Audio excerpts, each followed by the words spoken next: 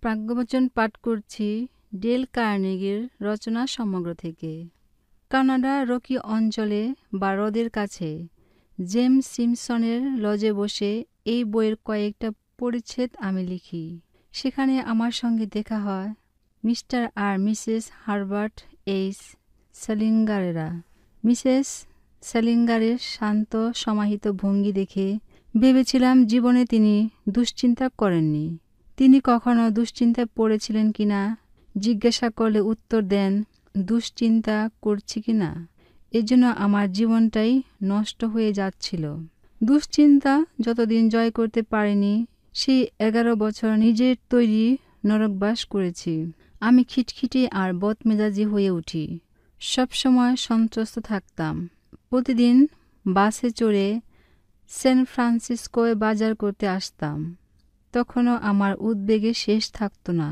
যদি স্ত্রীটার প্লাগ খুলে না এসে থাকি, যদি বাড়িতে আগুন লেগে যায়, কিংবা ঝি হয়তো ছেলে মেয়েদের ফেলে চলে গেছে। কেনাকাটার মধ্যেও আমি দুশ্চিন্তায় ঘামতে থাকতাম। আমার প্রথম বিয়ে ব্যর্থ হয়, এতে অবাক হবার কিছু নেই। আমার দ্বিতীয় স্বামী একজন আইনজীবী, অত্যন্ত শান্ত, বিশ্লেষক মনের মানুষ, যিনি কিছুতেই দুশ্চিন্তা করেন না। আমি যখনই চিন্তিত আর উদ্বিগ্ন হই, তিনি বলেন, শান্ত থাকো, ব্যাপারটা ভাবা যাক, কী নিয়ে দুশ্চিন্তা করছ? গড়পরদা নিয়মটা দেখা যাক, এসো, তাতে বোঝা যাবে এটা হতে পারে কি না। একটা উদাহরণ দিচ্ছি। আমার মনে আছে একবার নিউ মেক্সিকোর আলবুকাক থেকে কার্লসবার্ট কেবানে ধুলায় ভরা রাস্তায় গাড়িতে চলেছিলাম। আচমকা জোর বৃষ্টি শুরু হলো।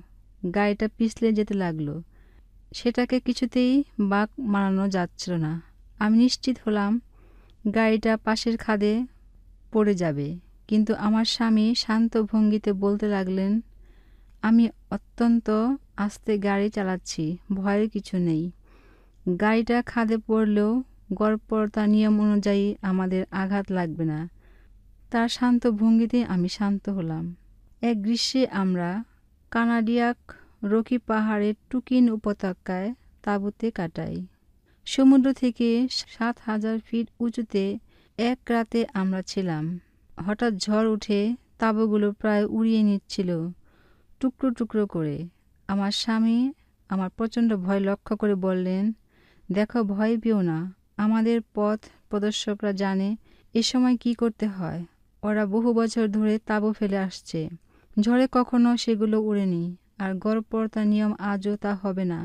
আর তা যদি হয়, তাহলে অন্য তাবুতে কাটানো যাবে, অতএব শান্ত হও। আমি তাই করলাম, আর বাকি রাত শান্তিতে কাটালাম।